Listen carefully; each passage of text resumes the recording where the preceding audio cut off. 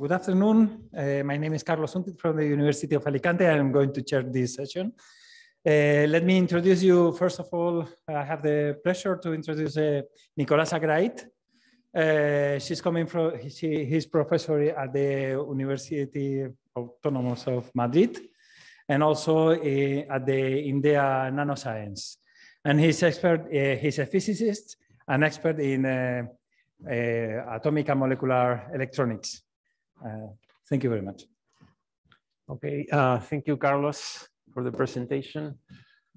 Uh, yeah, and I thank also the organizers for the opportunity to, to be here. Uh, well, I'm going to talk about uh, electrical and thermal transport in molecular junctions. So this is, well, related in part to what uh, Harry was explaining uh, in the morning. I will enter into more detail and try to, to make it uh, quite uh, a tutorial so that you can really see where things come from. Okay, so basically what we want to do is to, to understand how the electrons pass through one molecule from, to, from a single molecule. That means that you have two electrodes and you connect them to some voltage and then you will get a current. Okay, so the point is to understand how that current goes through the molecule and how that is related to the molecular properties. But not only the, uh, the, the electron current, but also the heat current. I mean, if you have, for example, in this case, if you have a, a difference in temperature between uh, the two electrodes, then there will also be a, a heat current. And we want to understand how that goes, say, in the case of one molecule. Uh, well, we have a bit more complications because um, uh, electric and thermal effects are, are really coupled. So if you have a, uh, say a, hot electrode and a cold electrode and you connect them through a wire, you might get some current. This is what is called Seebeck effect or the uh, uh, thermoelectric effect. And that is also very interesting because, well, it could be useful in some cases. Uh, we saw how the, uh, the, um, the uh, space rovers use thermoelectric generators to, to be powered, but also um, it gives information about uh, the electronic structure of the molecule. You can you also get the reverse effect. For example, in this case, if you apply a current through the molecule, you will also generate a temperature difference in the, uh, between the sides of the molecule. This is called the Peltier effect, and that can be used in principle to, to cool or to, or to heat uh, at the atomic scale or the molecular scale. Okay, so the, the main thing to take into account, I mean, to start, is that, okay, this is not uh, related to Ohm's law. I mean, if you think about the current passing through a wire, first thing that you learn is that that is related to, say, the resistivity, and then you get the resistance of the wire and, and all that. But this, is, this has nothing to do with the problem that we have in hand here, because this is for macroscopic situations. Uh, in this case, I mean, what is behind this Ohm's law is that okay, the electrons are moving uh, and colliding with the impurities, defects, phonons, and a lot of things in the wire, and then they have uh, some kind of drift velocity, but this is not the situation that we are dealing with uh, when you, we have just a molecule. In this case, this, um, this mean free path, so the, the, the length that the electron runs say, between two collisions is much longer than the size of the molecule, so this has nothing to do with this situation. Uh, for example, to show that this is completely wrong, say in the case of that you consider, let's say, just one atom between the two electrodes. Uh, for example, if you use Ohm's law to calculate, uh, say, the resistance of that atom, you will get that it should be like 10 ohms, something like that. Uh, in this case, you could use, or you would use the resistivity of gold, but that is totally wrong. If you do the measurement, what you see is that it's 1,000 times larger. So it has clearly nothing to do with that. And the same happens if you have, say, a structure like this, a, uh, an atomic chain of gold, then you can see that that conductance remains constant. So it's, it's, it's something in terms of uh, a macroscopic, uh, the macroscopic concept of uh, resistivity is, is, something weird. Okay, so the, the point is to understand, uh, we will see what you have to take into account to understand the basics of, of this situation. And this is, um, this is explained in terms of the scattering approach. basically what you consider is that when you apply uh, a voltage difference, say between the, the two electrodes, you are in some way shooting electrons from the, uh, the, uh, the high voltage side, well, the, the one that is more negative, say, to the other side, and then uh, the electron will try to get to these free states here, but it will suffer some scattering, some elastic scattering, say, without losing energy in general, in this region, and that, that is what will um, uh, give, uh, say, a certain probability, and that will give uh, a current um, when you connect um, the two sides together. Okay, so this, that, that's what that's called the, the scattering effect. So basically, you can have many of these channels. So you have to use quantum mechanics to calculate these transmissions. And you can have a situation where you have these electron waves that can be weird shaped if you want, depending on how big your electrode is. And then these waves, for example, the black one will be scattered in this region, and then some part can be transmitted. That will be depending on, on this factor, the transmission here, some part will be reflected, and that is what you need to take into account. So the conductance in this case, uh, which is the inverse of the resistance, has to do with the transmission of all these uh, quantum channels, okay?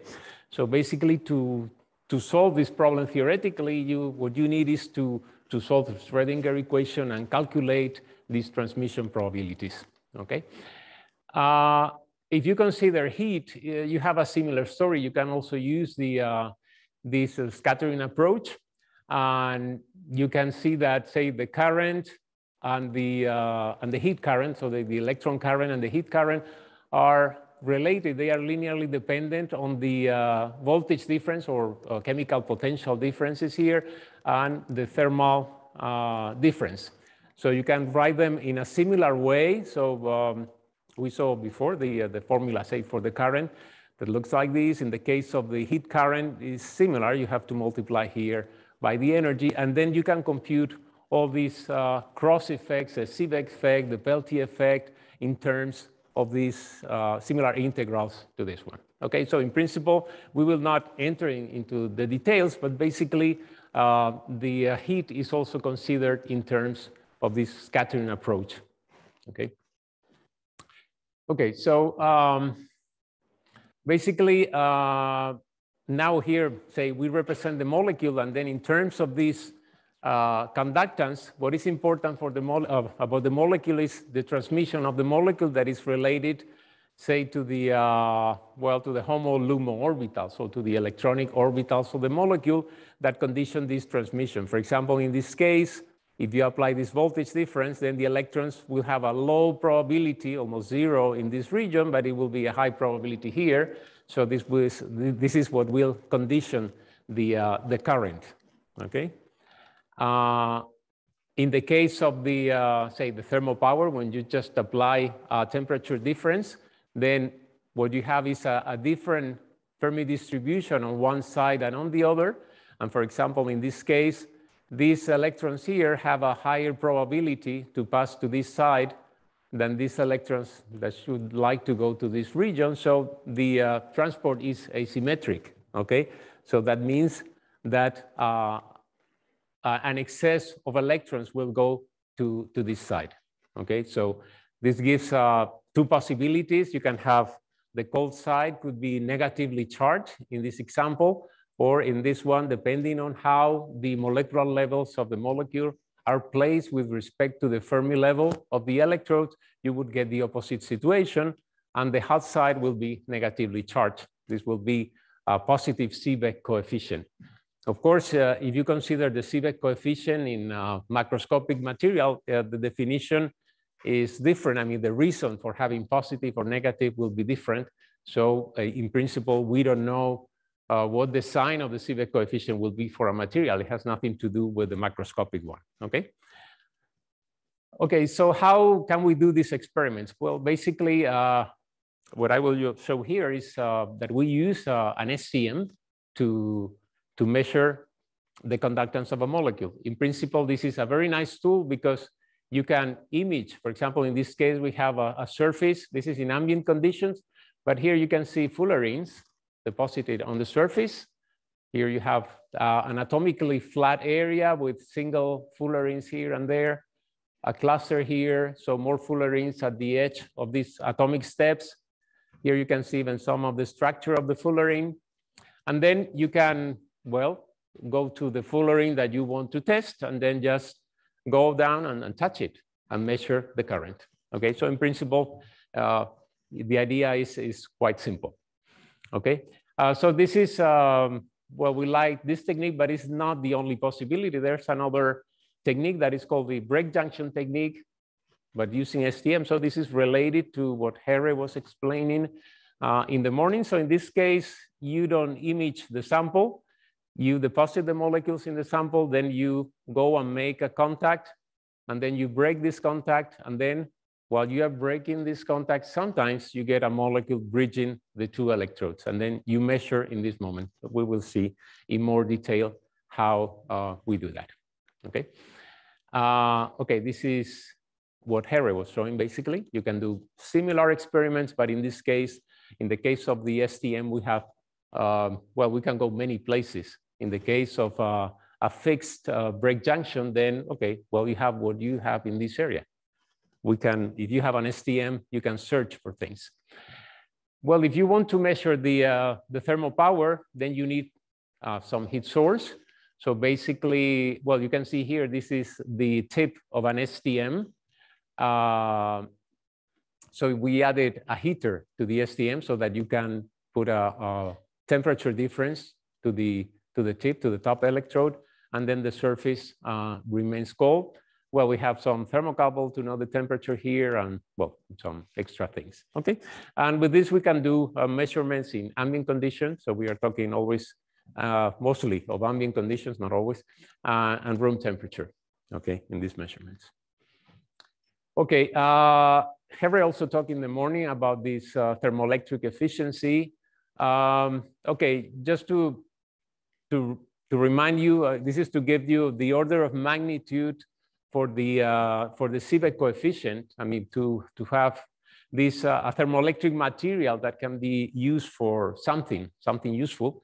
Say in real life, you need to have uh, a Seebeck coefficient larger than 150 microvolts per Kelvin. Okay, it's just to keep this uh, number in mind when when I show examples with molecules that will give us an idea if a molecule could be useful or not. Okay, they are commercial, uh, normally semiconducting materials that are used as thermoelectric materials in different applications. And they typically have like 250 microvolts per Kelvin. Okay, so slightly higher.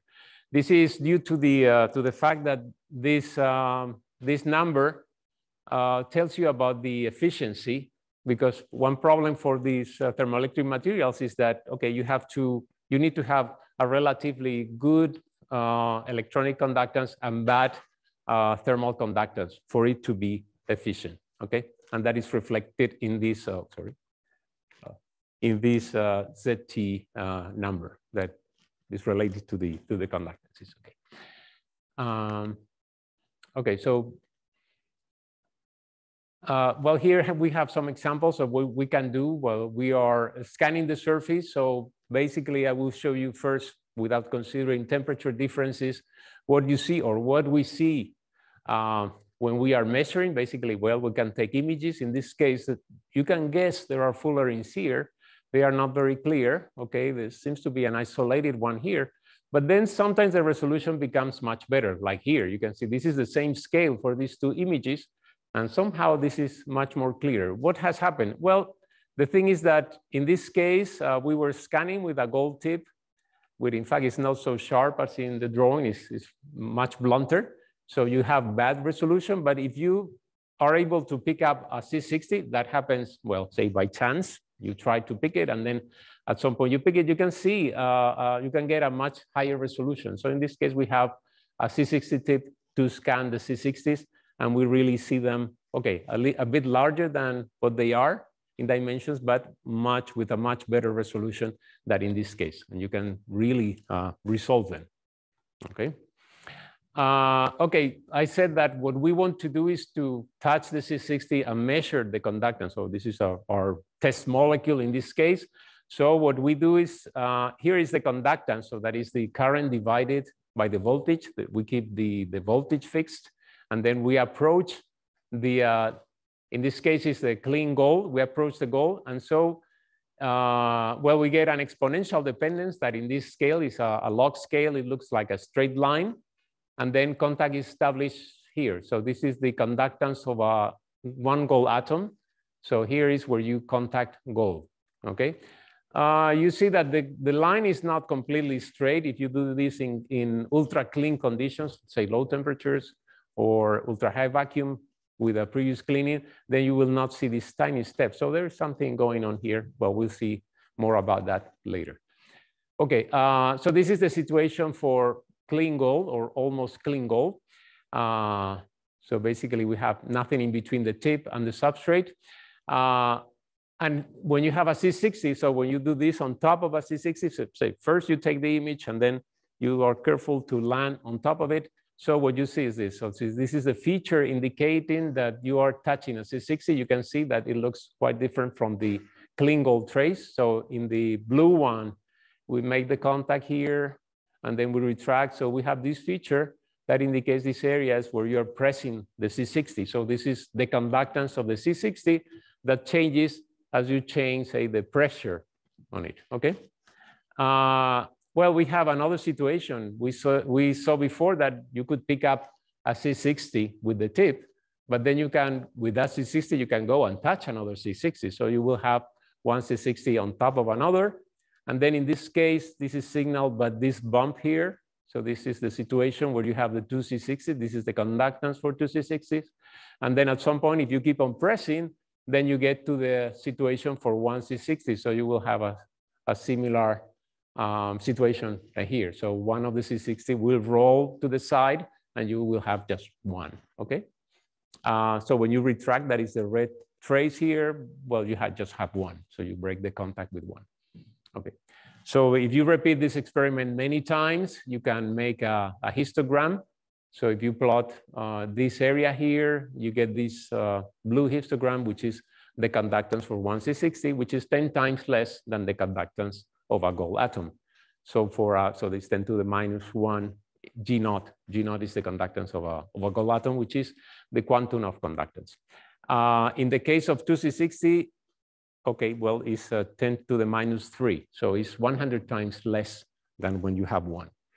Um, because in this case, in this for, say, for these quantum conductances or, or, quantum resistances, the normal rules that you learn for resistance are not used. So you don't add to resistances, they mostly uh, multiply, okay? Okay, so if you want to measure now the, uh, the thermal power, so what you have to do is, well, you can do it several ways, but the way we started doing it is just to, you make a, a ramp uh, for the voltage. So in this case, it's a, a small ramp. You can see that typically you would expect that you have a zero crossing. This happens when you have zero temperature difference, but as soon as you apply a temperature difference, you see that the zero uh, moves to one side. It could be either to the right or to the left. And this is a measure of the thermal voltage uh, that is related to the Seebeck coefficient. So it depends on the temperature. So what you really want to measure is this point here.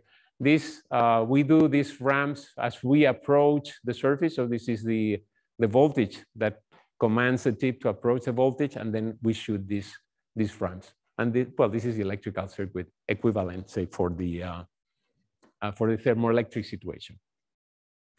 Okay, one interesting thing is that, okay, this is in this plot, we have the, this trace, the blue trace is uh, what we see in the current. So it's similar to the other traces that we were seeing. It's a bit more expanded.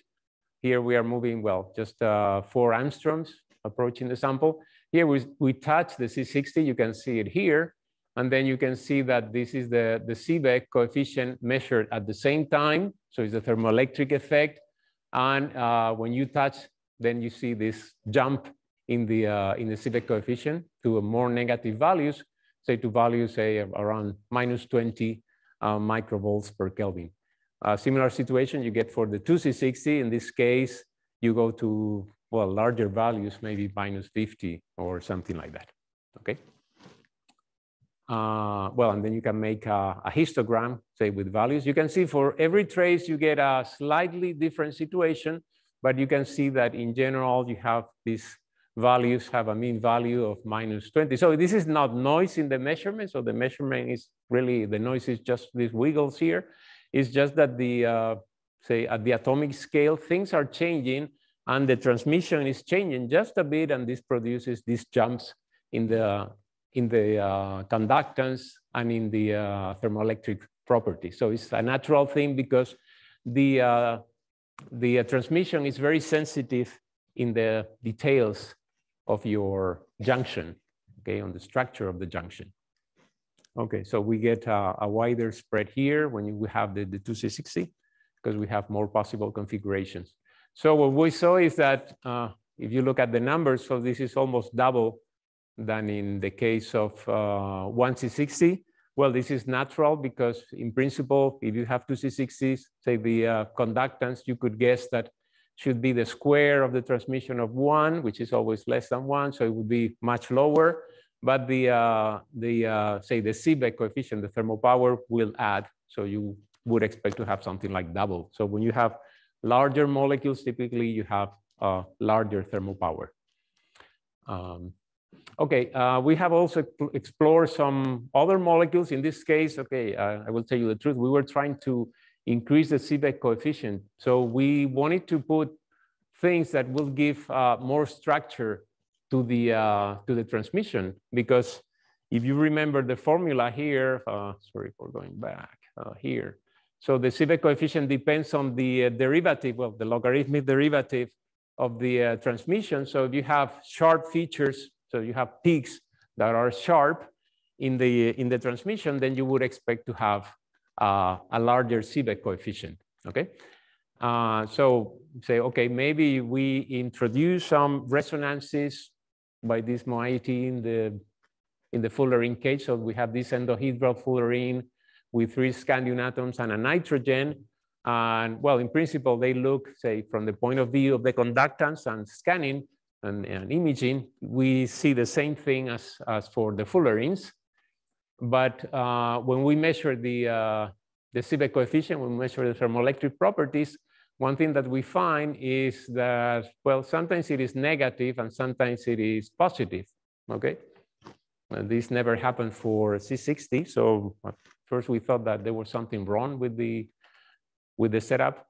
Uh, then what we realized also is that, okay, if we do spectroscopy before touching the C60, also the, uh, the, the IV curve, so the, the current versus voltage is asymmetric. And so it, it depends. It can be like this or it can be the opposite. So it can be, say, the positive side could be increasing uh, higher the, uh, the current, or it could be the negative side. It depends on the molecule. So it's not that it's not random. So for a given C60 it would be like this, for another it would be like this.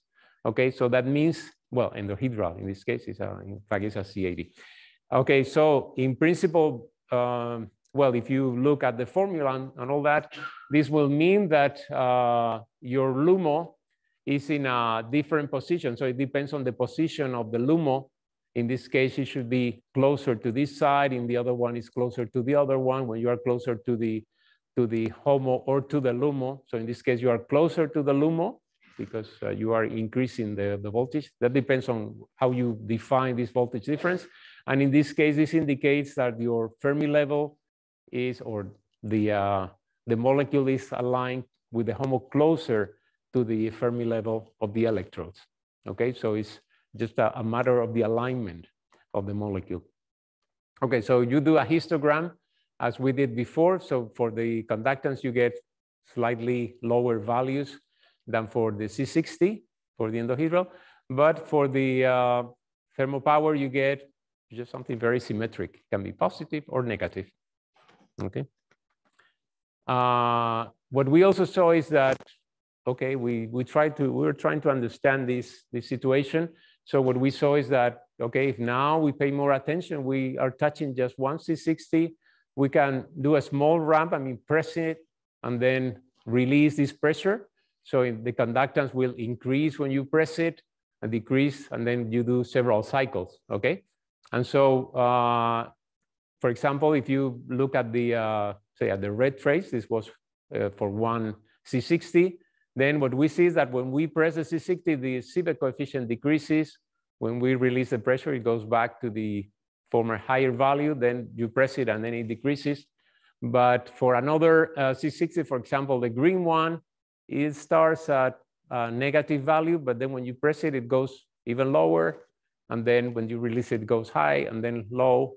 Okay, so it does the same motion, but it has an, an offset for the, uh, um, for the Seebeck coefficient. Well, okay, we found an, ex, uh, say with the help with the, some theory, DFT calculation from the Colin Lambert group in, in Lancaster.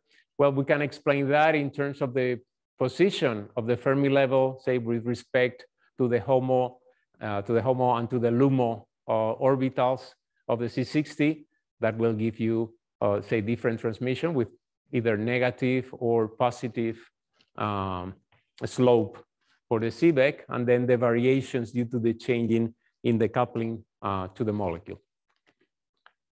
Okay, if you do the same kind of experiment for a C60, okay, you get for the uh, conductance, you get a similar variation, but for this, um, for the Seebeck, well, uh, okay, there is a change. You have the same in the same direction, but it is always negative, okay?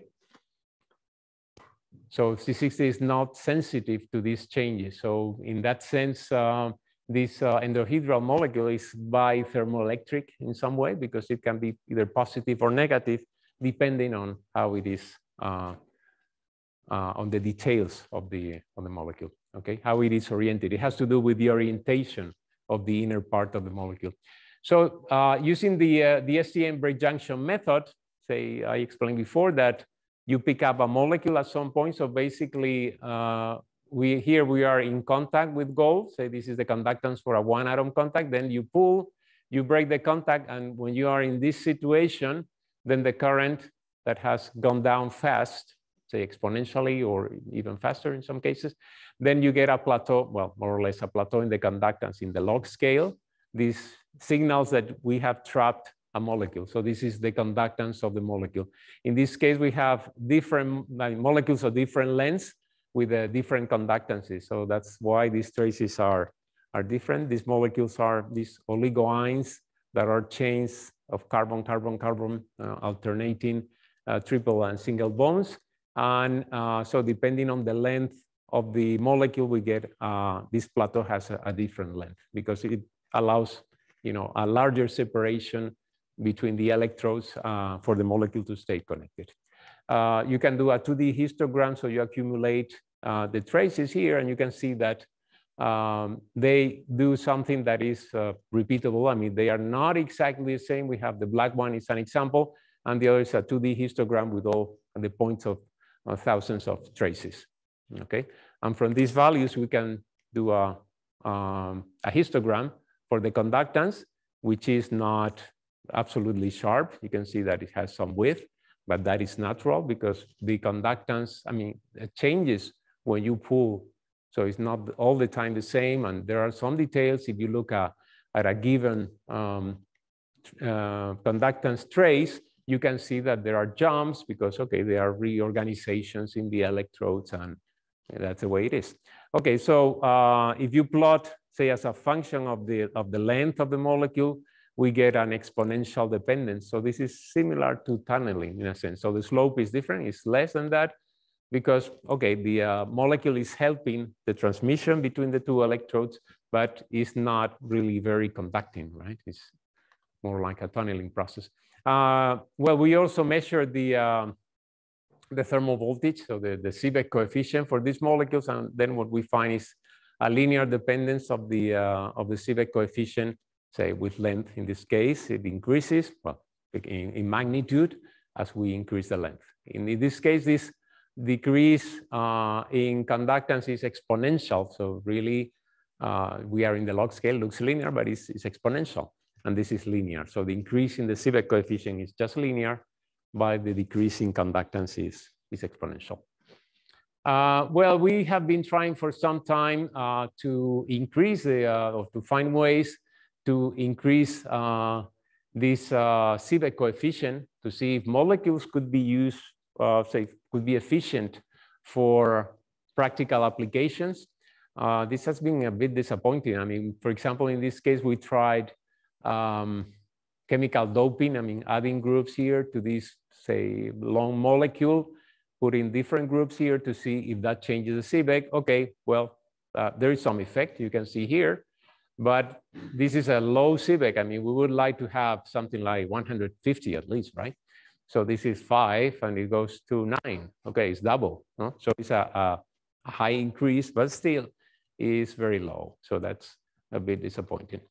Uh, we also tried, say, quantum interference, you know, but say using meta-connected molecules, conjugated molecules instead of para-conjugated molecules.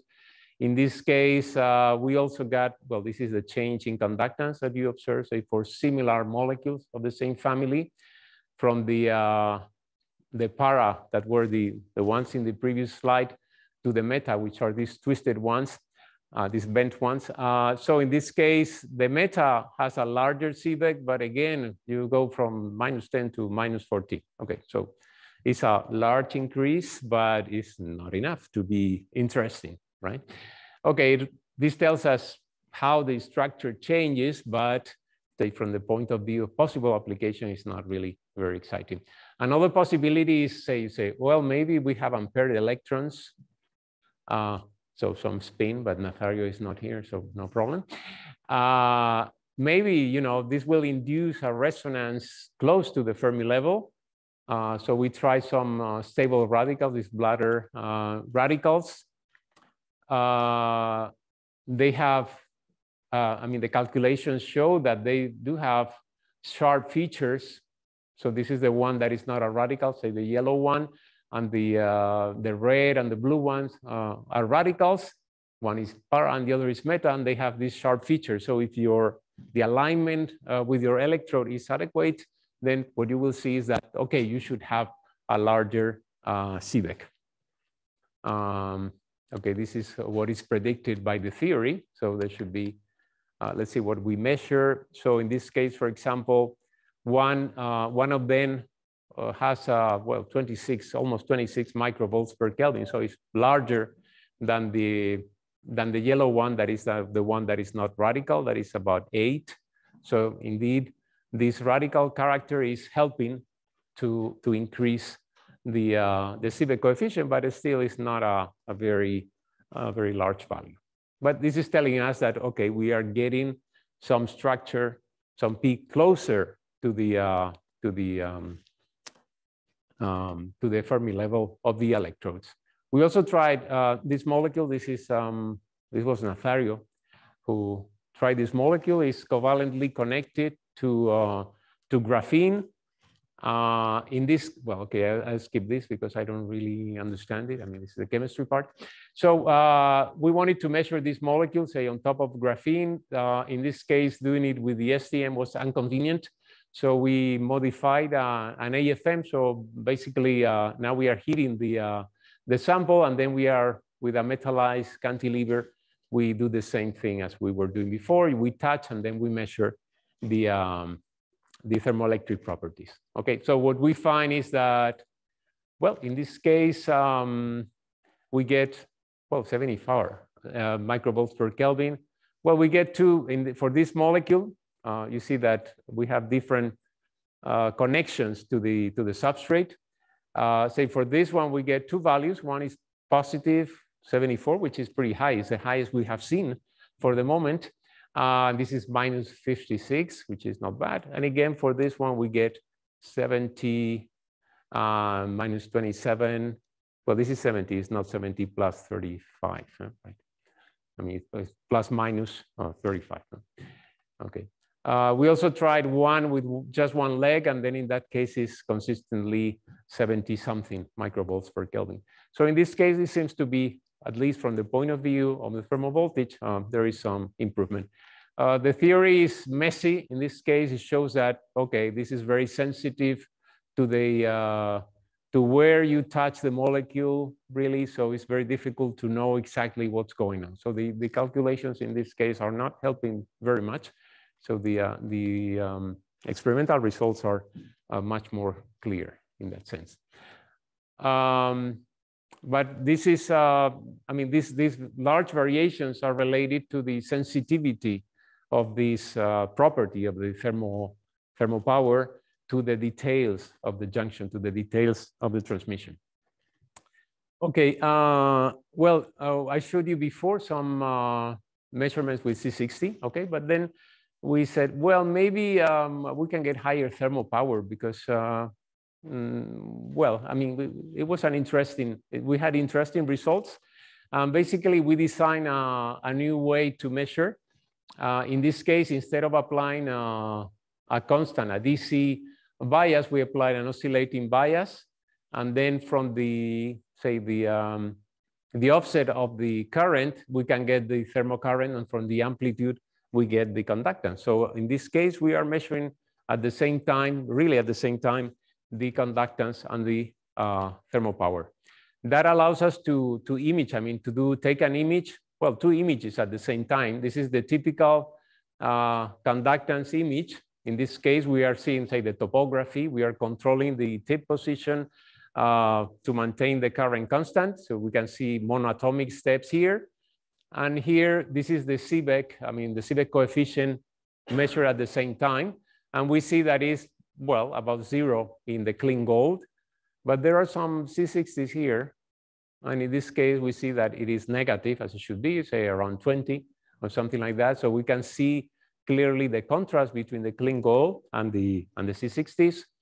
Uh, well, if we do now an IZ curve measuring this way, well, we see something similar to what we were seeing before. This is when we are contacting the C60.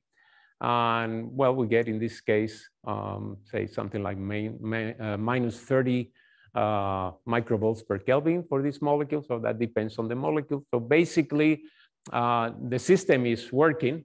In this case, uh, well, we got new samples. We wanted to have uh, specifically many C60s well, in this case, we have too many. We have a, a whole monolayer, and this, well, happens to be homogeneously, except for some points here, uh, say around 20, minus 20 again.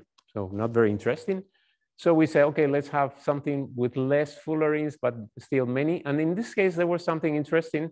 You can see here uh, blue dots and red dots, and then uh, a green background. The background is the, you can see in the topography images. I mean, they correspond like this uh, is the clean areas where there are no C60s. In this case, the uh, thermal voltage, this is the scale, is zero.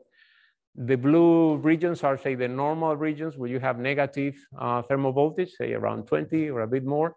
But then there are some uh, red um, fullerenes, right? Because they have a positive uh, thermal voltage, which is difficult to explain unless the, uh, the fullerenes are doped somehow, okay? which uh, should be the case. You can see that there are not too many. The red ones are few, but they are in some ways surrounded. But there are some consistently, I mean, you can see that if you look in detail to these images, they are scanning the same image and you see the same red spots all the time. So it's not just by chance. And you can see here, for example, if you go through this line, you pass on the positive um, fullerene and then the negative fullerene, and they are clearly, this is the Seebeck they are clearly positive and negative. I mean, it's, it's not noise. Okay, then if you um, try to measure on this sample, say doing the IZ that is approaching, changing the conductance, say we get the typical, uh, say, um, log dependence here, then we can see high values on some almost reaching 100 microvolts per Kelvin uh, positive, and well, some high values also negative. And okay, in, uh, in areas that are a bit messier, so with more C60s, we can see, uh, well, these are a, a, lot of traces altogether, but you can see here values higher than 200 in some cases, okay? So the in all these traces, the blue one is making the contact and then retracting again. So at some point, there is some configuration between the C60s that gives you very high Seebeck. I mean, this will be a, a good Seebeck to have, I mean, 200, okay? Um, uh, in this case, uh, for example, I you can pay attention to this one. This is higher than 200. This is almost 300. And this is 300 here, positive and negative. So in this case, it was funny because when we were making the contact, it was uh, negative, going high, say to 300, minus 300. And then when breaking the contact, well, nothing uh, really exceptional happened in the, in the conductance. It was positive going up to almost 400, okay? And then that repeated in the, in the next, and then, well, it just disappeared. Okay, so we can see that we can really get very high. So for some of the C60, depending on the configuration that we have, we can get very high thermovoltage values. That is the highest that have been measured in molecules, also with a relatively high conductance. This could be due to local doping. We are exploring that. And uh, most likely these configurations involve several C60s, okay? Well, um, yes, I want to talk now a little about the um, latest experiments that we are doing. In this case, uh, what we want to measure is the thermal conductance through uh, molecules. Well, first you start with a, well, one atom contact, but uh, but then we will put some molecules in between. Okay, there are, this has been done already, uh, not very long ago. There are two examples only in the literature because it's a very complicated experiment. You have to measure uh, very tiny amounts of heat. So uh, one way to do it from the IBM people in 2000, well, the end of 2016 was, you know, uh, with this complicated setup, they make some MEMS, some suspended membrane that is a calorimeter, has a heater, so they control the temperature here, and then they approach with the tip. But this is a very difficult experiment because this is very easy to break, this is very unstable, so it's not really possible to, to scan the sample. I mean, we would like to have some way to, to scan the sample at the same time, um, you know, get more information, go different places, okay? This is done with an STM, but in fact, they can measure only in one point and in a, in a very difficult way. Okay, they succeeded. Anyway, they succeeded in measuring these tiny amounts of heat. So here you have the electrical conductance and the, uh, and the thermal conductance measured at the same time. They have the same structure. Okay, that is what is to be expected from the theory.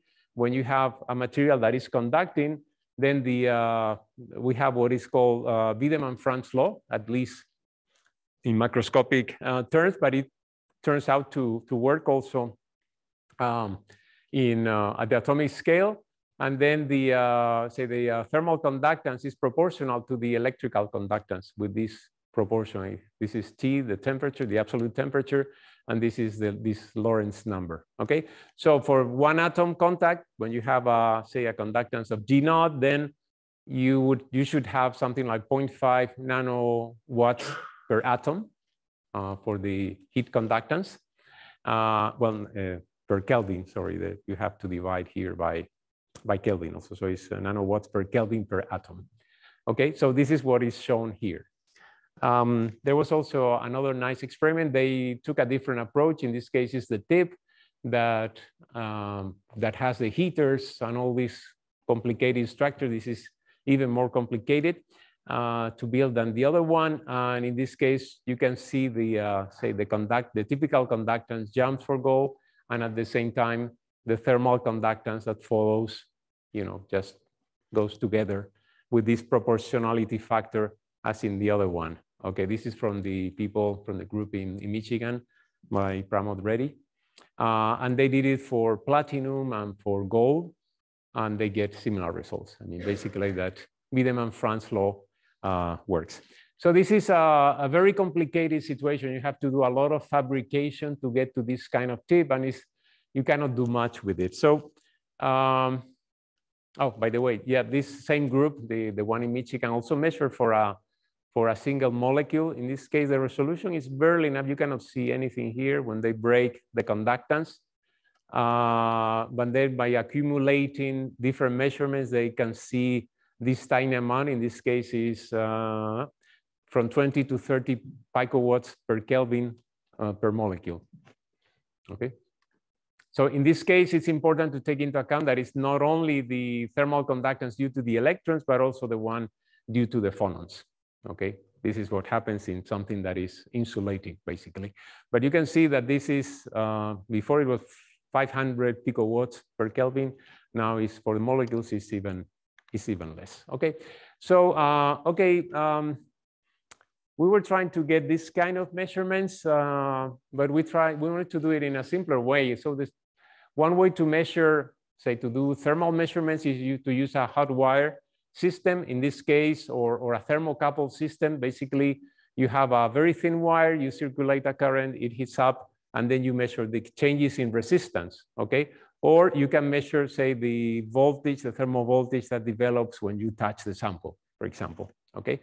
Uh, this is uh, very tiny, but it's easy to, or relatively easy to, to make because this is um, a, a Wollaston wire. So it's wires that you can buy uh, that have, uh, say, the, the inside of the wire is uh, five micron uh, platinum or an alloy of platinum, and then it has a shell of, say, 100 microns of silver that you can etch away. So it's relatively easy to, to make it. Okay, so uh, there is a, um, well, I mean, there are some reasons not to use a hot wire to measure atomic contacts, okay, because they don't have, in principle, enough resolution. They can be too soft. If you make them long, they are soft. Uh, it's difficult to calibrate, more difficult than these platforms that the other groups were using. They can get contaminated. So it's, it's, it's really, I mean, you shouldn't do it. But anyway, we tried. Uh, so the idea here um, so this is um, some idea that we had that we patented, in fact, is to use at the same time the uh, thermoelectric properties and the resistive properties. So, and use multi, uh, several frequencies to measure everything at the same time. So this is the tip that we will use uh, as an STM tip. So in the end, uh, we will put the sample here. Here's the sample, here's the tip.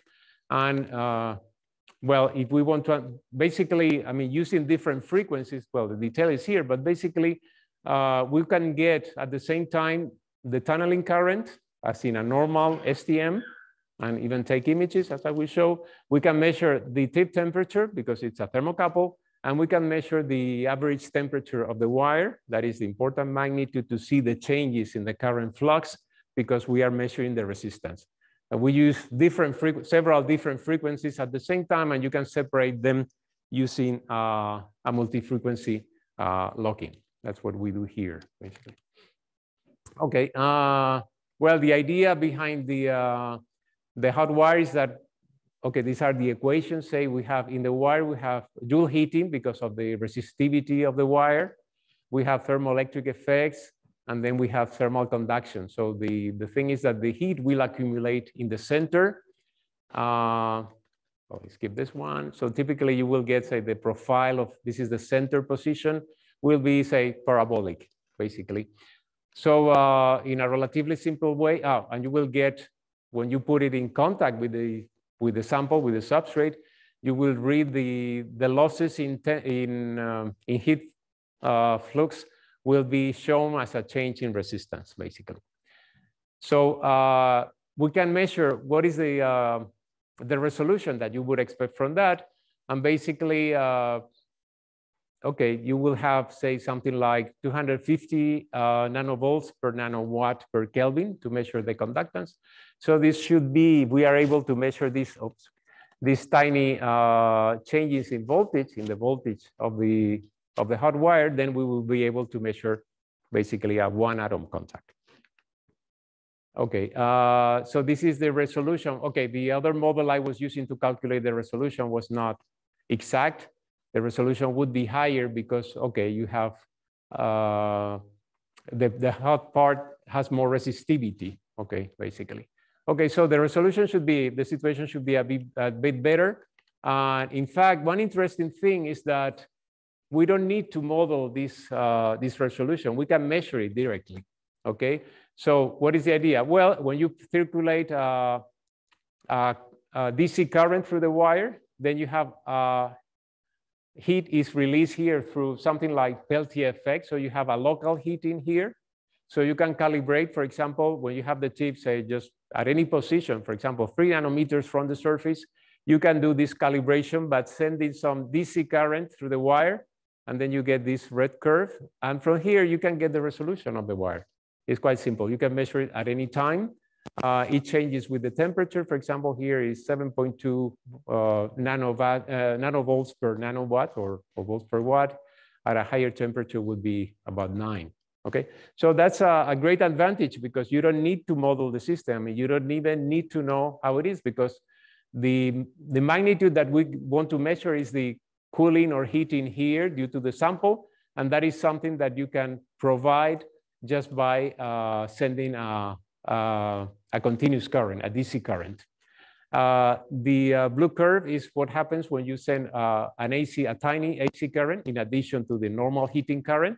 So you get a parabola that is displaced, but center at one, the, the, when you have the DC current is displaced. So that shows you that our model is correct and that we understand uh, uh, what is going on. So just from this shift in the two parabolas, we can get the, uh, the resolution.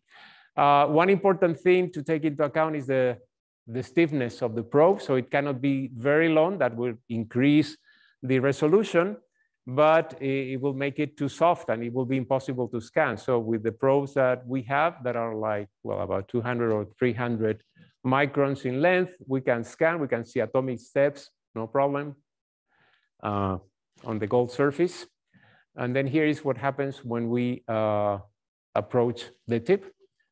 So uh, this is the uh, conductance that we measure at the same time that we measure the thermal conductance. And what we see is, in this case, we touch the sample at zero. Okay, the tip is hot, so we approach it, but we have the two wires, in fact, and then at zero, uh, we contact the metal. But we see that before that, say like seven nanometers before that, there is a, a sudden increase in the, in the heat flow. So we are losing heat somehow, and this happens always at this point. So there is no heat loss because, okay, we are not touching the sample, but at some point we start touching something. There is a, a jump here. You can see a tiny jump. That is not noise.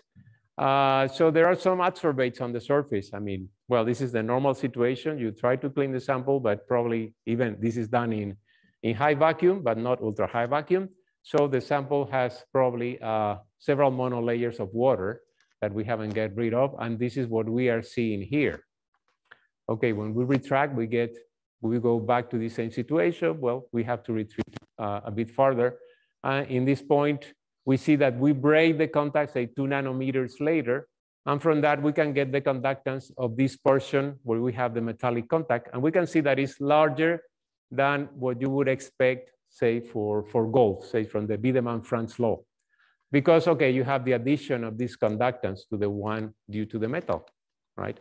Okay, uh, so after playing a little with the tip and trying to get rid of this water by heating more with the tip and scanning, you can see that now we get very different results. So we are approaching, the contact is, the electrical contact is established here, and this is where the, uh, the thermal conductance starts increasing. So we have nothing, uh, well, maybe a slight increase here.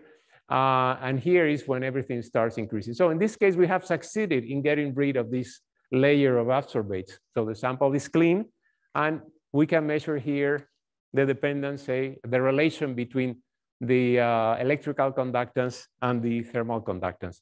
And we get a value, say about uh, 0.5 nanowatts per Kelvin as it should be. Okay, this is uh, Wiedemann-Franz law. Uh, okay, one thing is that, uh, well, we are getting, uh, I mean, it's not breaking when we have one atom. Uh, let me skip this one.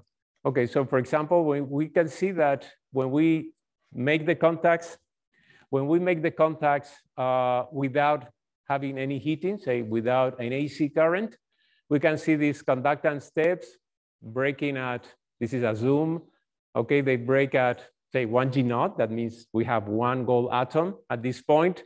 So this is the normal situation. So the probe is doing its work fine, but then as soon as we start heating, then we lose the steps, right? You can see that uh, the contact breaks about well, three or four atoms. Uh, so what's, what's going on? I mean, uh, this shouldn't happen because you can see here, you, we have steps and here we don't have steps. And where are the steps? Okay, well, the point is that, okay, we are passing an AC current. And then if you think about it, and there is a, if there is a, some uh, magnetic field, for example, the Earth magnetic field, which we do have, then passing a, an AC current could produce a vibration of your wire because it's a wire in the magnetic field. Okay, if you calculate it, you can see that, say, for typical values of the Earth magnetic field, uh, well, we should get a force on the wire of about 0.5 nano, nanonewtons, which is not too much. But if we consider that the effective elastic constant of the of the wire, well, that was in, a, in one of the previous slides, is about one uh, nanonewton per nanometer. That means that, okay, this is oscillating about 0.5 nanometers. That means that, okay, the tip is oscillating when we are heating with an AC current, and that's why we cannot see the steps in the current because it's, it's really, you know, it's, it's not breaking in a clean way, okay? Uh, I mean, we have proof of that because if you put a, a, DC current here, then we see the steps. Again, we see a curve that is very similar to this one. So the problem is not that we are heating, the problem is that the tip is oscillating. So well, we now we are working on solving that problem to avoid the, the oscillations.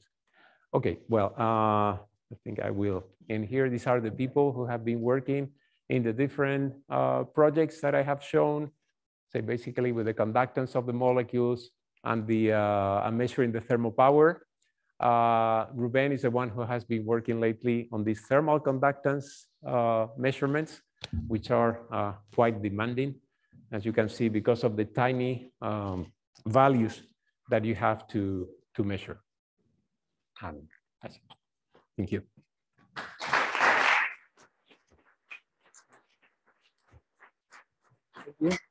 Now we have a couple of questions.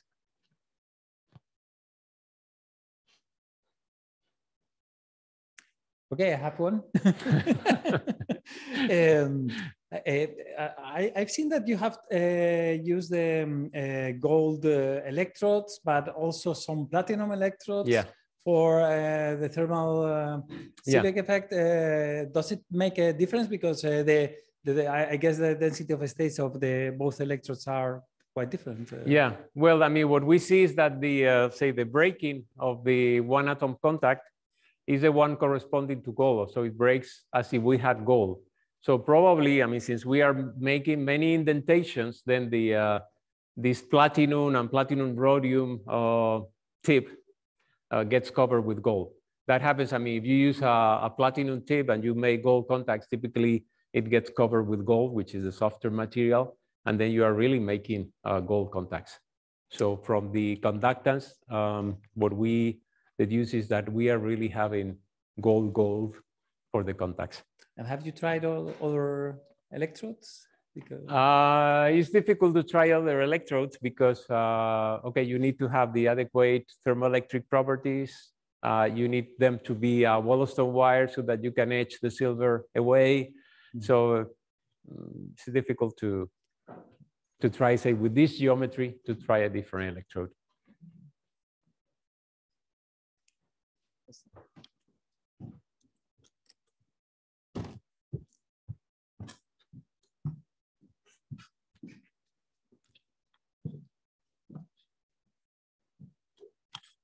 Uh, thank you for a very nice talk. Um, yeah, maybe I didn't quite understand, but why do you get a higher resolution if you have already a C60 atom on your tip? Yeah.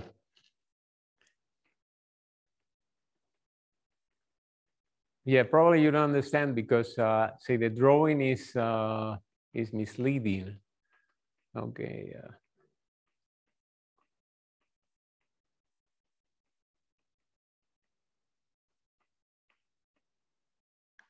Okay, the tip, uh, so yeah, the gold tip looks more like this. I mean, it's not a, an atomically sharp tip because, okay, I mean, the, if, if you scan, if you make a, typically when you break a gold contact, say you get like a little mountain about one nanometer in radius, uh, in diameter, basically. So typically this should have, say like uh, two nanometers diameter and the C60 is 0.7 nanometers in diameter. So it's really smaller. So this situation is uh, more realistic in that sense that the gold tip will be typically even larger than that.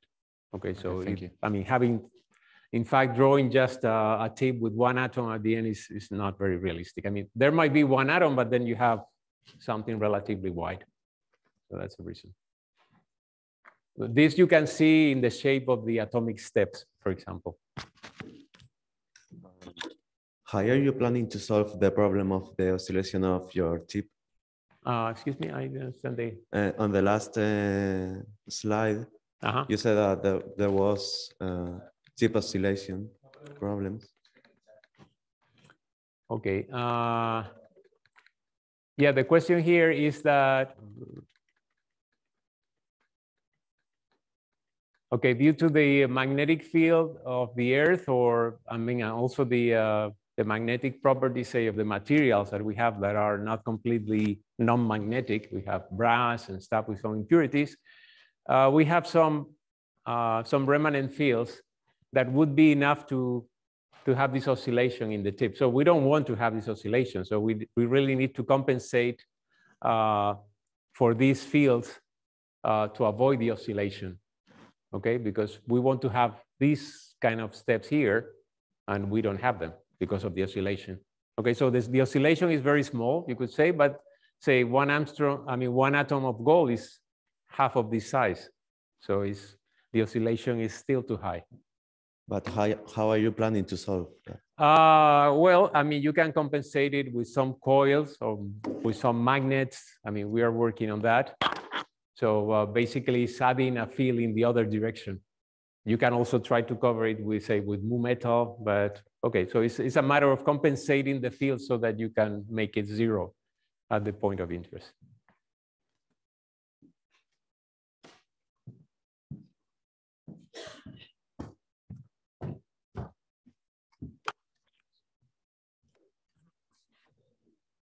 Senor, then in, in the molecules that you have shown of Nazario having one leg, two legs, and these kind Mm. of things, you see differences, but you understand why are different, the, the, the different curves or not? The different. Uh, Yeah, because from the point of view of uh, the the contact, the contact is uh, one. What is important there, the contact or the molecule? Well, the molecule is important because say you get different values for the molecules. I mean, they have slightly different behavior, but is uh, still the uh, for each each curve that you get is very important. Say the local situation, exactly where you are touching and if you are pressing, or so it's it's really a, a bit of a messy system. No, but uh, with the same molecule, you will obtain several results. If you take Yeah. the one leg and you repeat several times, each time you will have one Yeah. different. Yeah, yeah. So you, we can say for if you have say one leg, for example, we don't get uh, negative values. If you have two legs, we get negative and positive values. Uh, let's see here. No, So the have, you- histograms are different. Okay, the values are widely distributed because the details are very important. I mean, in all these measurements, the exact position uh, of the Fermi level with respect to the molecule levels are, are very important. yeah, but in, in that case, uh, even the, the C60 without anything, you will see also some differences Yeah, in a C60 yeah. So in the case of the for the C60, I mean, only. Uh, C60, you each time you measure, you will obtain uh, yeah. results. But in this be- case, I mean, for the the ones that the results I was showing for the C60, for example, in this case, uh, yeah, I wanted uh, I wanted you to see that. Okay, every time you measure, you get a different thing, not because you have noise. Because, for example, in this case, this is uh, when you are breaking the contact, and then when you make the same contact. So this is right after this this other curve, you get something similar. So that means that you have some configuration that is similar. But then if you keep on moving, then okay, you might lose it completely. So it's very difficult to, to have to know exactly what you have, for example, in this situation where you get when you make the contact, you get something very high negative, then you break it, it's very high positive. When you go back, it's still very high positive and, and then nothing. So you have some special configuration, I don't know, several C60s, but three maybe could be enough. But it's, uh, I mean, we are trying to model that to try to understand in which situation we can get it. But possibly for this, you really need to have it doped in some way. and having in that case more extended systems, more connected in the surface, in which you have only one configuration possible, cannot be better. For example, if you put some kind of system with three legs that are attached and that cannot move at all, the molecule can will stay always in this position by these three legs. Uh, Yeah, I don't know. That's difficult to tell in advance. I mean, what the feeling that we had for this, and, and we were right, is that disorder is good in But that sense. I mean, being able to explore different possibilities is good for these uh, thermoelectric measurements. With the thermoelectric measurements, when you do that, the, mo the molecule is not uh, moving? No, no, it's all? not moving. I mean, we have, well, when we are moving, uh, say, up and down, say you, you can imagine that you have, say, one C60 here, another one here, you know, and, and the configuration, the relative position of the different C60s, but maybe it's three or four, not more than that, is changing. We don't know how. That's the that's the problem. So we don't know how the issue change. But you know, uh, it is possible to get it. I mean, we know how to get it, but we don't know exactly uh, what the positions are. Okay, thank you. Hmm.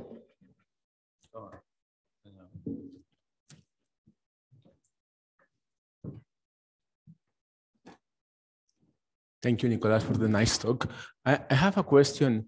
Uh, last year, Tim Albrecht published a paper in JPCC uh, explaining how to determine thermopower without all the temperature setup. What do you think about? Uh, uh, which paper was that? Uh, It's a J, JPCC uh, paper where he where he published saying, well, you can determine directly from the traces without any oh, temperature setup in the electrodes, uh, the thermopower properties.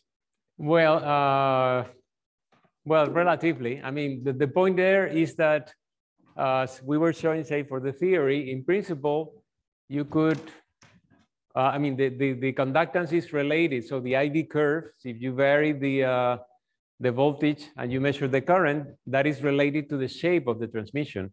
And the thermal voltage is also related to the shape of the transmission right? So in principle, you could say, okay, if I know the shape of the transmission, then I can guess the thermopower without measuring it.